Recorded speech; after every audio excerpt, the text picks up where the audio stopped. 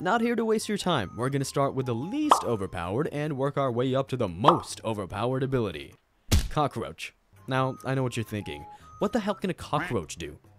This is the species that is most likely to survive the apocalypse. After all, they can withstand decapitation.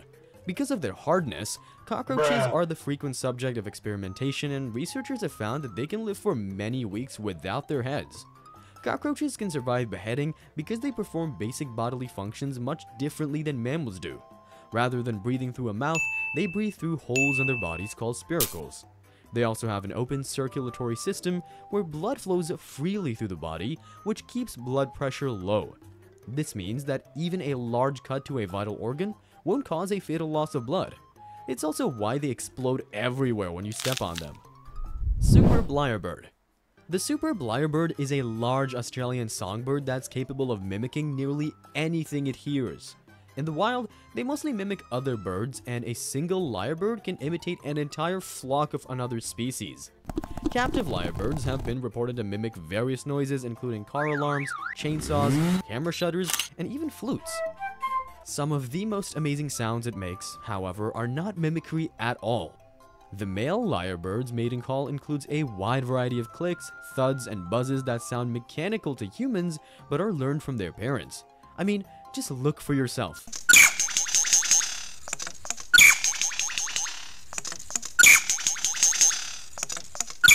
Imagine if that's what we had to do to find love. Guy says, Hey, how you doing? Girl, Hey. Pangolin. Known to be one of the most illegally trafficked animals in the world, the shy and elusive pangolin also stands out to be a wonder of the world. Their large, toughened scales cover their skin for protection, and they are the only known mammals with this feature. A startled pangolin will roll up swiftly into a ball, exposing its sharp scales, which can be compared to impenetrable battle armor.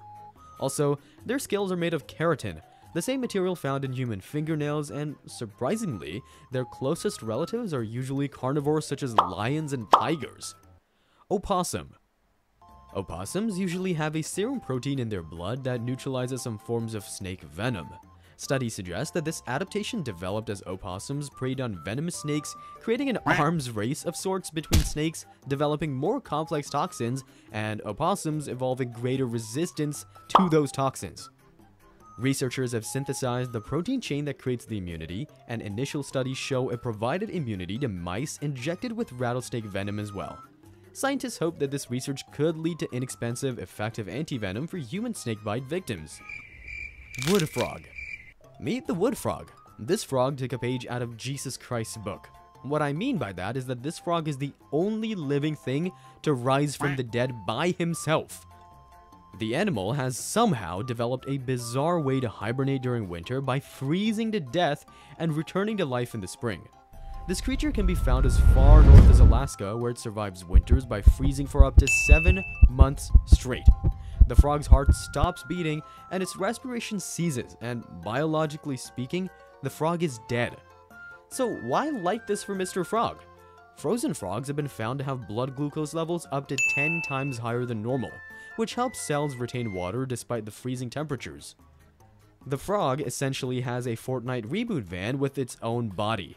When warm weather returns, the wood frog begins to thaw out, and within just 14 to 24 hours, it's fully functional again.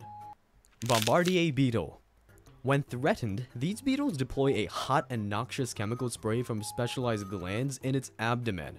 The spray is a result of a rapid and explosive chemical reaction between stored compounds, hydroquinone, and hydrogen peroxide.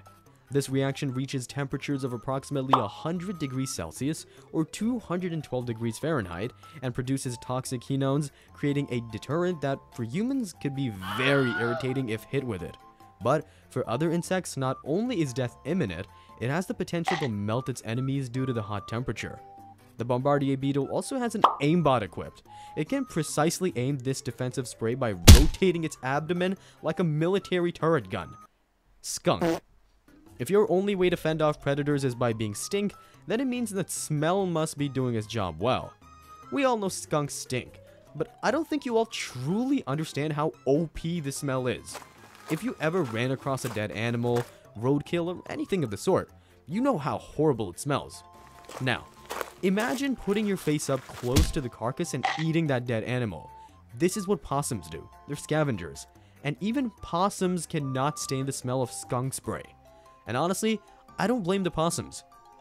Imagine if you're fighting another person and the other guy pulls down his pants and begins to aim his backside at you, threatening to let it rip. I would gladly pack my bags and evacuate the area as quickly as possible too. Axolotl. When an axolotl loses a limb to a hungry predator, the missing appendage can regrow with bone, blood vessels, and muscles all intact. Scientists have isolated a small sequence of RNA in axolotl that is responsible for this regenerative ability. The axolotl is an aquatic salamander relative to just two lakes near Mexico City called Lake Xochimilco and Lake Chalco. Both lakes are remnants of a larger lake system that was drained as the human population in Mexico City grew. Today, the axolotl has been added to the list of critically endangered species due to habitat loss. Dung beetle. Probably the elephant of the insect world, the dung beetle is one of the strongest animals in the world capable of pulling 1,141 times its own body weight.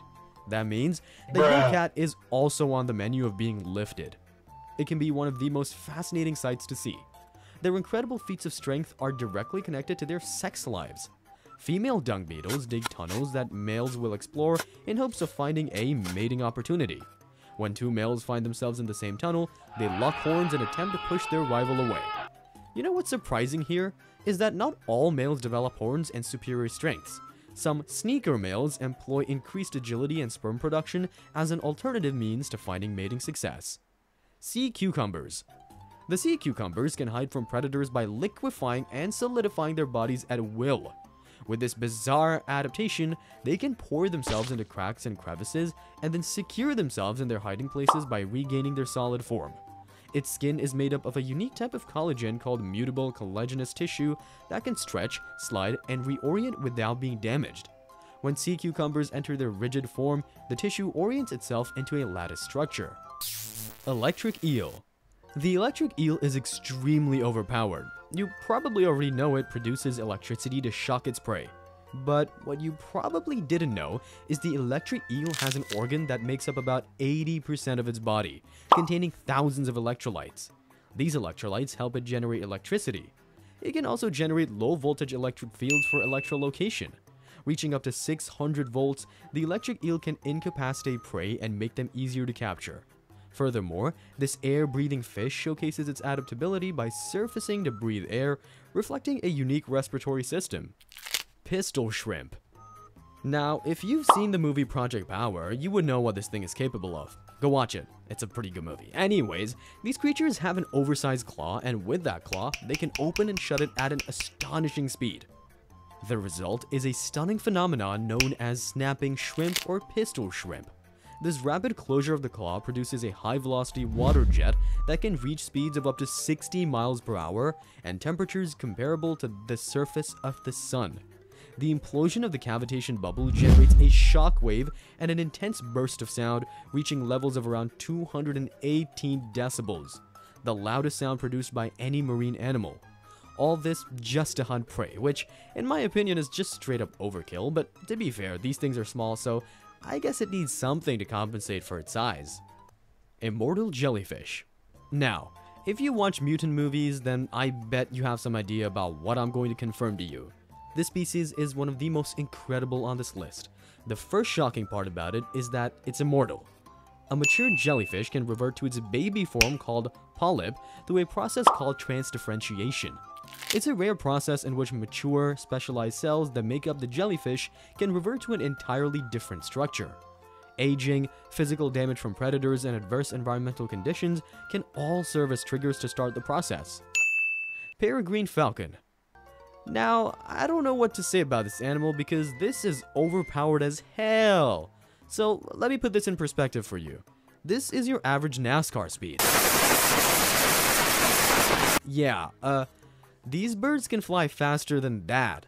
The top speed of a NASCAR is 200 miles per hour or 321 kilometers per hour. These birds can fly up to 240 miles per hour or 386 kilometers per hour. they use this speed to ram other animals or take out their enemies in midair like a homing missile. Absolutely ridiculous. I mean, just look at it. Tiger.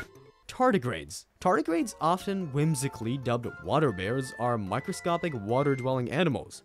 Now, despite their minuscule size, which ranges from 0.1 to 0.5 millimeters, tardigrades exhibit an unparalleled resilience to extreme environmental conditions, like space, intense radiation, extreme temperatures spanning from near absolute zero to boiling points.